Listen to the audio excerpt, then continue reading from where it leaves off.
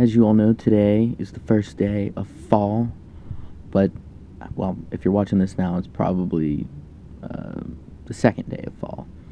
But anyway, um, I've been watching scary movies since the 1st of September, the 1st or the 3rd of September, I'm not really sure. And my local FYE has been on fire with scary movie titles, horror titles. So has my Walmart. My FYE had a bunch of Scream Factories. Um, and I want to show them off to you guys, of course. The first one, I actually was looking, I didn't pre order and I was looking for it when it initially came out because the new Scream Factories, uh, sometimes my FYE does get them in upon their uh, store release. And that is The Boy Who Cried Werewolf. I thought this movie looked amazing. Um, it was made in 1973, and it was actually made by the same guy who made uh, Attack of the Giant Woman, or Attack of the 40 Foot Woman, or whatever. And I'm a sucker for these kind of movies, um, just because it just looked super cheesy and sort of poorly made, but at the same time, like uh, The Boy Who Cried Werewolf, like that's just I don't know how to really explain it, but this like macabre, crazy type of stuff is just right up my alley. And you know, the trailer kind of I watched it. I didn't see this. This was a blind buy, and the trailer kind of had me. And I still haven't watched it yet, but like I love the cover, and I'm sure I'll enjoy it. I actually did pick up another Scream Factory, Ghoulies one and two, that two pack. Fuck those movies. Those movies sucked. They were terrible and I actually took them back to my FYE, and the girl there was like, you know, once it's opened, it was sealed, it was new, and once it's open, we're not really allowed to take them back. But you are a customer who is in here all the time, spends a lot of money and time here, and so she let me trade in uh, that movie, and she gave me twenty dollars store credit, so I got twenty dollars worth of shit yesterday. Then, uh, for my birthday, I got this friggin' classic right here. The class of 1984, written by the legendary Tom Holland. No, not the new Spider Man, that guy who actually wrote and directed Fright Night.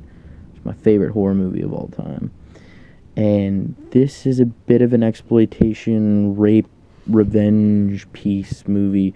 Not necessarily a horror, but this is more like true horror that could actually happen. And I just I love this freaking movie so much. I love Tom Holland. This movie's really kind of it was uh, prophetic. I mean, it, it really kind of predicted.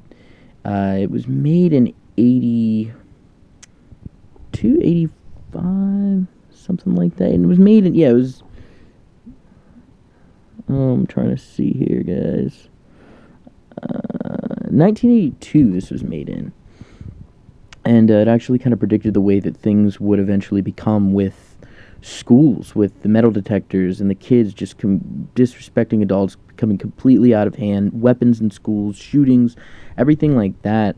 Um, I know when this movie was made, that was not a thing at all in high schools, and like I said, this movie was pretty prophetic and it's just the ending is is really it's a brutal movie but the ending is really kind of hilarious. The little caption at the end i don't want to spoil anything but if you guys haven't seen this man check it out. This is definitely a cult classic. I'm so glad it got a scream factory the scream factory treatment.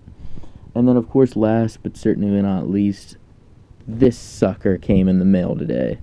I actually thought it was coming next week but it came today and I was super excited. My girlfriend and I just watched it and she didn't like it, but that's too goddamn bad. And it also came with an awesome fucking poster. That's right. And on that note, guys, I got a couple more videos coming at the end of the month. I'm going to do a video of my entire haul from this month. And then I got three more Scream Factories coming in soon. So that'll be in October sometime. And then, I don't know, look at this friggin' view right here. This is awesome. It's epic. Alright, guys. On that note, happy fall, happy Halloween. Scream Factory, you guys are friggin' killing it right now. Thanks for watching.